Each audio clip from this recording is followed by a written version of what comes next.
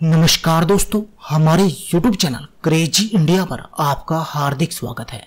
आज मैं आपके लिए एक महत्वपूर्ण टॉपिक लेकर आया हूँ, आपको स्वस्थ बनाने के विषय में, आपको बहुत सारी बीमारियों से बचाने के विषय में, उंगलियों को इस तरह रगड़ने से शरीर का हर तरह का दर्द हो जाएगा छो मंत्र की तरह गायब। दोस्तों, सबसे पहले मैं आपको बताना चाहूँगा कि अगर आपने हमारे YouTube चैनल को अभी तक सब्सक्राइब नहीं किया है तो प्लीज़ सब्सक्राइब कर लीजिए। सब्सक्राइबर बटन के साथ जो बेल आइकॉन है, आप उसके ऊपर क्लिक करना ना भूलें, क्योंकि इससे आपको हमारी सभी आने वाली वीडियो की नोटिफिकेशन आती रहेगी, जिससे आप देखकर अपने लिए फ़ायदा उठा सकते हैं। तो आइए दोस्तों, अब बात करते हैं अपने टॉपिक की। प्राचीन जापानी कला के अनुसार प्रत्येक उंगली विशेष बीमारी और भावनाओं के साथ जुड़ी होती है। हमारे हाथ की पाँचों उंगलियाँ शरीर के अलग अलग अंगों से जुड़ी होती हैं। इसका मीनिंग आपको दर्दनाशक दवाइयाँ खाने के बजाय इस आसान और प्रभावशाली तरीके का इस्तेमाल करना चाहिए। दोस्तों, आप इस वीडियो के माध्यम से हम आपको बताएँगे कि शरीर के किसी हिस्से का दर्द सिर्फ़ हाथ की उंगली को रगड़ने से कैसे दूर किया जा सकता है।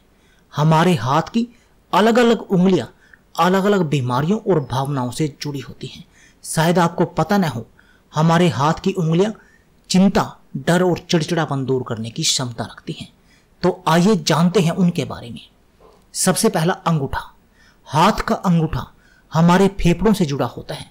अगर आपकी दिल की धड़कन तेज है तो हल्के हाथों से अंगूठे पर मसाज करें। या हल्का सा खींचे, इससे आपको आराम मिलेगा। तर्जनी उंगली। ये उंगली आंतों से जुड़ी होती है। अगर आपके पेट में दर्द है तो इस उंगली को हल्का सा रगड़ें। दर्द कम होता महसूस होगा।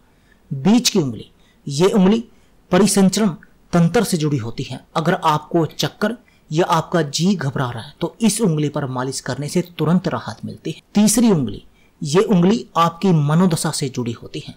अगर किसी कारण आपकी मनोदशा अच्छी नहीं है या शांति चाहते हैं तो इस उंगली को हल्का सा मसाज करें और खींचें।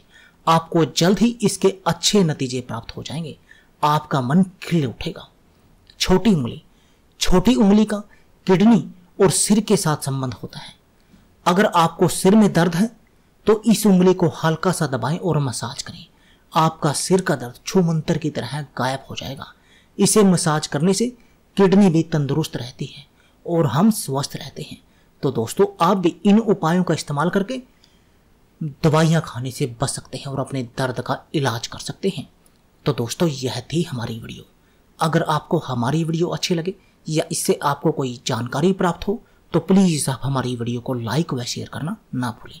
इसके साथ साथ आप हमारे यूट्यूब चैनल को सब्सक्राइब करना ना भूलें, क्योंकि इस चैनल पर आपके लिए हम ज़बरदस्त टिप्स लेकर आते हैं, जिससे कि आप अपने जीवन को सुखमय बना सकते हैं और सुखमय जीवन जी सकते हैं। धन्यवाद दोस्तों।